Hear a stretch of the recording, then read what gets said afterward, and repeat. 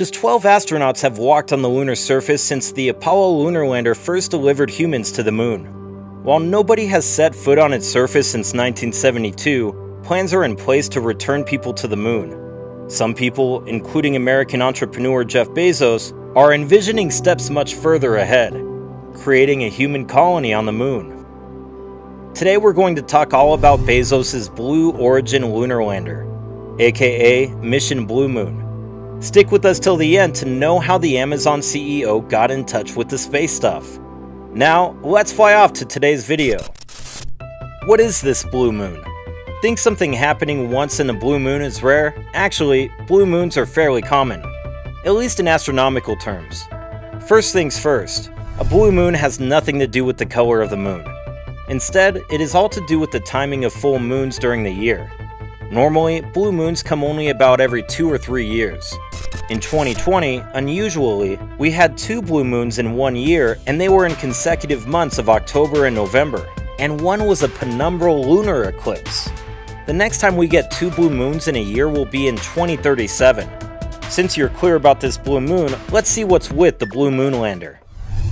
Blue Moon Lander so why have a separate Blue Moon lander when there's a mission Artemis from NASA?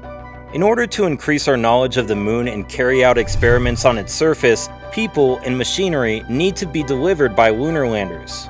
One of these currently being developed is the Blue Moon Lander, created by the privately funded aerospace manufacturer Blue Origin.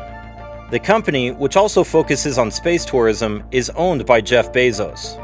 The Blue Moon wasn't selected for NASA's Artemis missions, but Blue Origin hopes to use the Moonlander in future missions and achieve a sustained human presence in space according to their website. Lunar Lander Technology The Blue Moon Lander, which began development work in 2016, uses autonomous technology to land with precision. Equipped with LiDAR, light detection, and ranging sensors, Blue Origin claims that it is guaranteed to land within 23 meters of a pre planned landing spot. To scan the moon, laser beams are fired at its surface to create a computerized image of the terrain.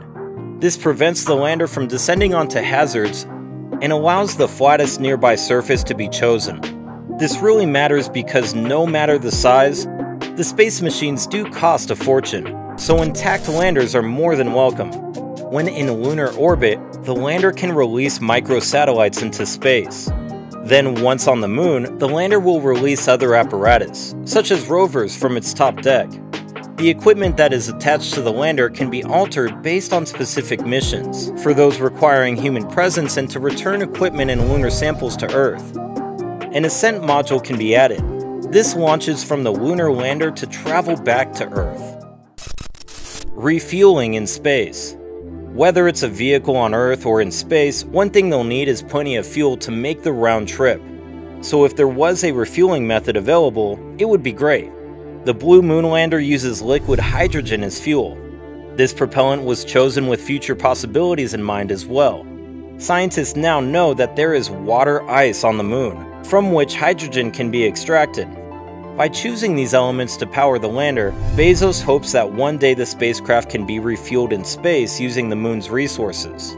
When separating water into its elements, oxygen is also released. This can be used in breathing apparatus. Blue Moon Lander facts and its goal. The Blue Moon lunar lander has enough fuel to go from Earth to the moon. It will be powered by a new rocket engine named BE-7 which can provide 10,000 pounds, 4,535 kilograms of thrust. The Blue Moon reusable vehicle will transport research instruments, satellites, and rovers. It is capable of delivering cargo to the lunar surface, deploying up to four self-driving rovers, and launching satellites into lunar orbit. A pressurized vehicle for humans is also in the works. The Blue Moon will weigh 33,000 pounds when it lifts off from Earth but this will drop to around 7,000 pounds when it approaches the moon. The goal is for the moon to settle on the moon's south pole, where ice deposits have been discovered in craters. The water extracted from the ice may be broken down to make hydrogen, which can then be used to power spacecraft for future voyages around the solar system.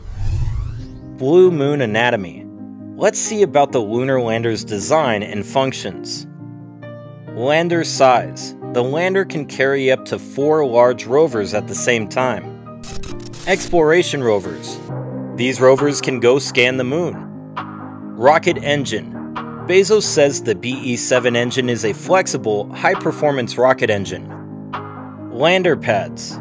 The lander pads can help Blue Moon land safely on the moon. Taller legs.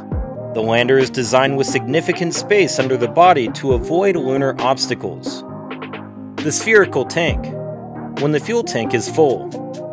Lowering system. The autonomous spacecraft has a crane system to lower its payload down onto the moon. The human landing system. We all know that, basically, this lunar lander is a cargo ship. But there is a rumor that Bezos is planning to make it a human landing system, i.e., send real humans there just like years ago.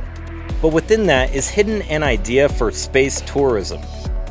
Are you ready to find out what it's all about and what NASA has to say about it? Blue Origin has won a $579 million contract to develop a lunar lander for NASA's Artemis program. It's the first time since the Apollo era that NASA has had direct funding for a human landing system. The company and its partners are still competing with SpaceX and Dynetics for the final contract. Only two of the three projects will be selected to make it to the next round, and they're expected to be awarded soon. The ILV will include elements for lunar transfer, as well as descent and ascent.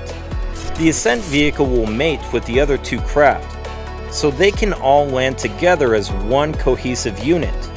The spacecraft could launch aboard a US rocket, or it would hitch a ride on Blue Origin's New Glenn rocket. It could also dock with NASA's Orion capsule or even the Lunar Gateway. But think about this as well. What if NASA let the mission Artemis have this human landing system on the Blue Moon as well? Won't all of Bezos' efforts be in vain?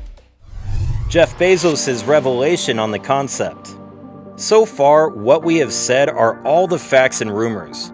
But let us tell you all about what Bezos himself said about the Moonlander concept. Trust me when I say he has a bigger dream than just sending astronauts to the moon. Mr. Bezos sought to increase access to the moon because he has a larger vision of a future in which people may live and work in space, which is now not conceivable. The cost of doing fascinating things in space right now is simply too expensive since there is no infrastructure, he explained. To demonstrate this, he displayed images of self-sustaining space colonies capable of supporting humans, animals, and plants, which are comparable to those produced by Princeton physicist Gerard O'Neill. Wow, I mean, first it was colonizing Mars, and now we've got plans to be on the Great Moon as well? I'll be counting my fingers to see which one I can go to first. Won't you all too? By the way, did you hear all the bidding and stuff with Bezos and NASA has gone a tiny bit of a bad turn? Do you want to know about it?